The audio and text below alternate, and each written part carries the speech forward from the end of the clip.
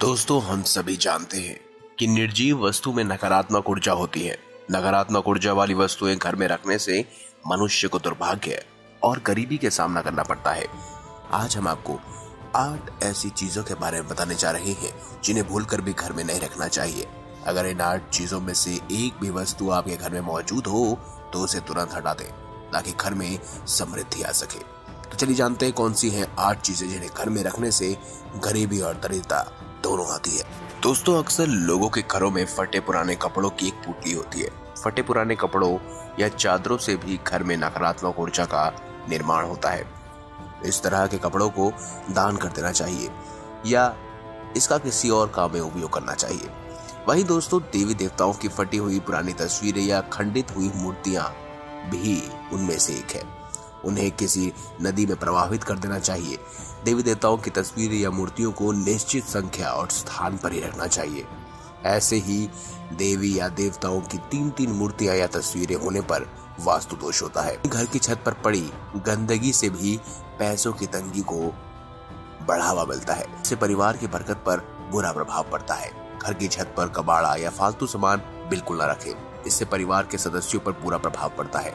साथ ही इससे पितृदोष भी उत्पन्न होते हैं। कई लोग अपने घर में अनावश्यक पत्थर, नग, अंगूठी, ताबीज या अन्य किसी तरह के सामान को घर में कहीं भी रख देते हैं। बिना इस जानकारी के कौन सा नग फ़ायदा पहुँचा रहा है और कौन सा नग नुकसान पहुँचा रहा है।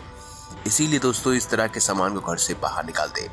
या गैर ज़रूरी वस्तु को घर में नहीं रखना चाहिए, इससे घर में वास्तु दोष उत्पन्न होता है। जिसके कारण लक्ष्मी का आगमन रुक जाता है। विशेषकर कांच की कोई भी सामग्री घर में टूट फूट वाली नहीं होनी चाहिए। कहते हैं कि ताजमहल का चित्र डूबती हुई नाव या जहाज़, फुआरे, जंगली जानवरों के चित्र या कांटेदार पौधों के चित्र घर में नहीं लगाने चाहिए। इससे मन पर बुरा प्रभाव पड़ता है। लगातार इन चित्रों को देखते रहने से जीवन में अच्छी घटनाएँ घटना बंद हो जाती हैं। वहीं दोस्तों, घर में बनने वाले मकड़ी के जाले तुरंत हटा दें। इनसे आपके अच्छे दिन, बुरे दिनों में बदल सकते हैं।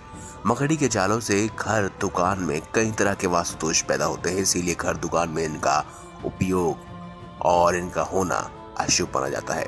घर या दुकान की कोई भी अलमारी टूटी हुई नहीं होनी चाहिए। टूटी अलमारी पैसों के नुकसान का कारण बनती है। इसके अलावा काम न होने पर अलमारी को हमेशा बंद करके रखें। अलमारी को बेवजह खुला रखने से हर तरह के कामों में रुकावट आती है और धन भी पानी की तरह बह जाता है। तो दोस्तों, ये आठ वास्तु दोष जिनसे आप बच सकते हैं। अगर आपको ये वीडियो अच्छी लगी हो तो वीडियो लाइक करें, हमारे चैनल को सब्सक्राइब करें और इसे ज़्यादा से ज़्यादा शेयर ज़रूर करें। धन्यवाद।